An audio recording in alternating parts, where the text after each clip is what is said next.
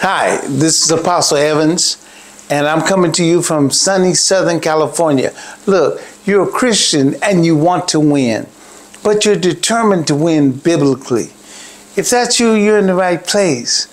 I'm a Christian first and always. I stick to the word. Winning in life from a biblical perspective is about both temporal and eternal success. It's about living a life that aligns with God's will, values, and teachings.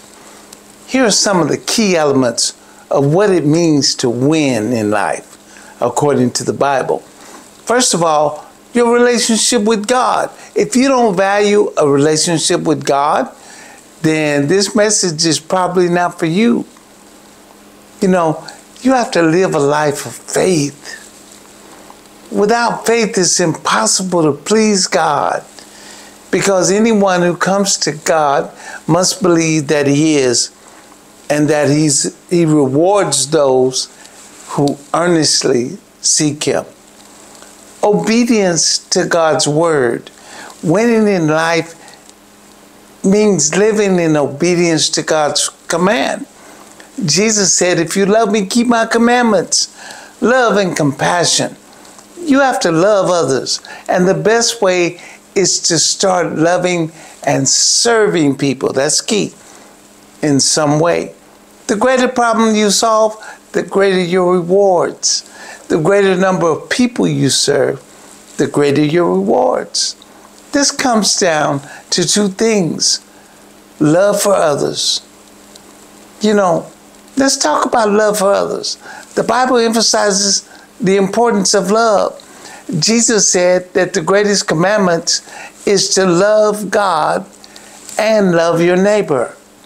1 Corinthians 13 13 says, And now these three remain faith, hope, and love. But the greatest of these is love. Now let's talk about serving others. Jesus exemplified a life of service, and winning in life means serving others. The Bible says, even the Son of Man did not come to be served, but to serve and give his life as a ransom for many. You know, you also have to have moral integrity. Your integrity gives you quality. Integrity guarantees others that you will deliver on your promises, making you trustworthy. This involves two things. The first thing is righteous living, living a life of integrity, honesty, and righteousness. It's, it's, it's a key aspect of biblical success. Then you have to avoid sin. Successful life in God's eyes involves resisting the temptation to sin. You can't live in sin and win. Then, number four, there's perseverance and endurance. A quitter never wins, and a winner never quits. You know, you have to run a race of faith. May I remind you that we're believers? Therefore, we believe. Our first task is to believe. The Bible often compares a race to life or compares a life to race. You know, in this race, perseverance is the key. If you don't believe, you won't persevere. The Bible says, let us run with patience or perseverance. You know, you have to endure trials. Winning in life means standing firm even during hardships. You will reap in due season if you don't faint. And then you have to have, this is important, you have to have an eternal perspective coupled with a now in this time perspective. You know, Peter said, Lord, we left all and followed you. What shall we have therefore? This is important. And Jesus said, There's no man that has left his house or brethren or sisters or father or mother, wife, children, or land for my sake. Watch this.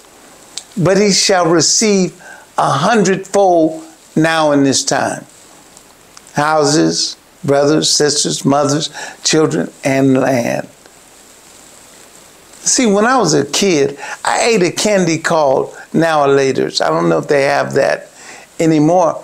But the misunderstanding that most Christian teaching has now is that it's got to be either now or later. It's actually now and later. Listen to what Jesus said. He shall receive a hundredfold now in this time.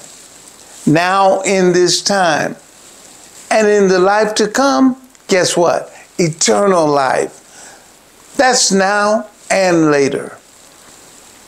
You know. Now, don't get me wrong, eternal life is our greatest reward. So I live with eternity in mind. You know, the ultimate win is securing eternal life through Jesus Christ.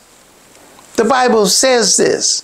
It says, God so loved the world that he gave his only begotten Son, that whosoever believes in him should not perish, but what? Have eternal life.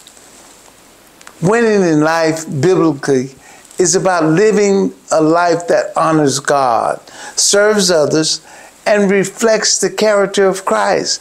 It involves prioritizing spiritual growth, moral integrity, and remembering that you can have both temporal success and eternal rewards. Well, that does it for me. Please like, subscribe, and hit that notification bell. And remember, it really is a sin not to win. So just win.